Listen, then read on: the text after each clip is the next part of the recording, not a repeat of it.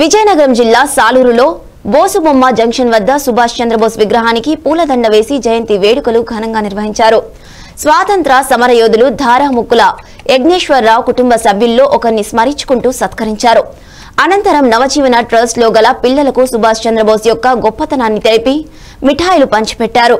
ఈ కార్యక్రమంలో మీకై మేము వెల్ఫేర్ అసోసియేషన్ అధ్యక్షులు ఇప్పిలి దిలీప్ కుమార్ కార్యదర్శి సిహెచ్ ఉమాశంకర్ రాజు సభ్యులు శంకర్ రాజు వంశీ కానిస్టేబుల్ తదితరులు పాల్గొన్నారు. వందే మాత్రం పాడాల్సిందే.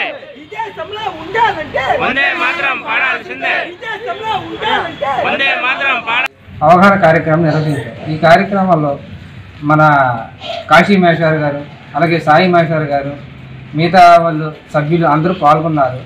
దీనికి పిల్లలకి ఇచ్చే సందేహం ఏంటంటే ఈ దేశంలో స్వాతంత్ర సమయోధులు ఈ ఎంత రక్తం చిందించారు?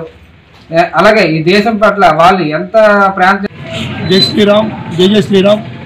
ఈరోజు సాలూరు హైందవ ధర్మసేన మరియు ఏబీవీపీ మరియు మీకై మేము అండ్ గ్రీన్ స్వచ్ఛంద సేవా సంస్థలు అందరం కలిపి సుభాష్ చంద్రబోస్ యొక్క జయంతి కార్యక్రమాలు అనేవి ఏర్పాటు చేయడం జరిగింది.